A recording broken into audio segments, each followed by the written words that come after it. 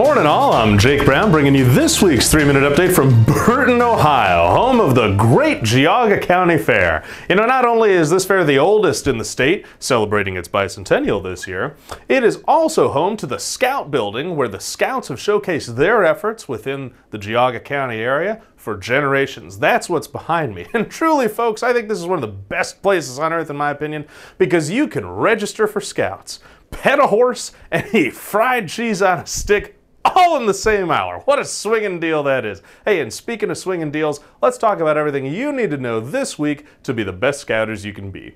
We have updates on Wilderness Engineers Weekend, fall recruitment reminders, this week's Good Scout shoutouts, Cub Scout activities, Scouts BSA activities, training updates, certificate of insurance requests, YPT reminders, and this week's pro tip.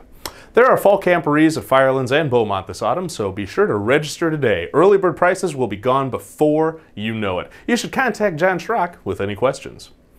Cub Scouts, there are Webelos Woods, Cub Haunted weekends, fun days, and overnighters, as well as holidays at camp weekends to look forward to the rest of this year.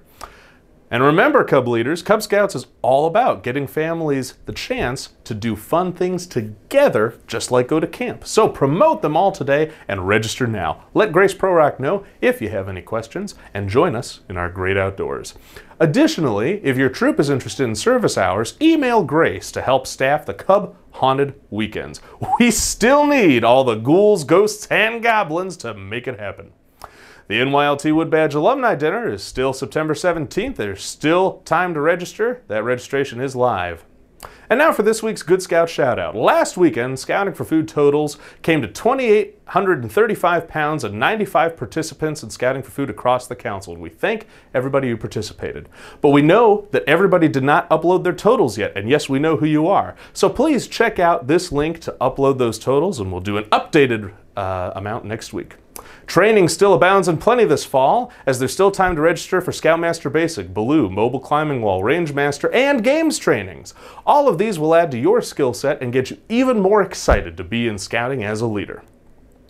Wilderness Engineers Weekend is at Beaumont, September 23rd through 25th. This is a chance to roll up your sleeves and get dirty, helping keep camp beautiful and safe into the winter. Volunteers do need to be 21 years of age or older, and expertise with heavy equipment, chainsaw safety, or any trade is certainly welcome. But even if you're not skilled in those trades, but are still able to use some hand tools, there are projects for you indeed. Contact Chris Fortunato with any questions. Did you know certificates of liability insurance are sometimes required by outside organizations for scouts to host activities or events on their grounds?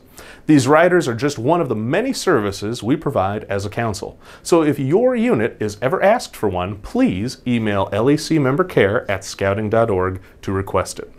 Also, a friendly reminder to all unit leaders, your youth protection training cannot lapse for longer than 30 days. If it does expire for longer than that, your registration will be terminated, potentially putting your unit's charter in jeopardy. So don't wait. Renew your YPT before it expires. Don't forget to go to lecbsa.org slash membership dash resources to get all the pamphlets, flyers, and join nights and school talks scheduled for you this fall.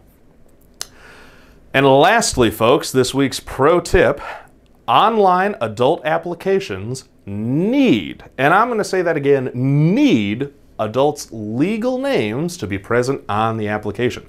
I'm Jake Brown to my friends, but the government knows me as Jacob Brown, and that's what I put on my application. So when folks are filling out adult applications, make sure that their legal name is what's registered there, because if it's not, then we might have an issue running their background check and it'll just hold up the whole process.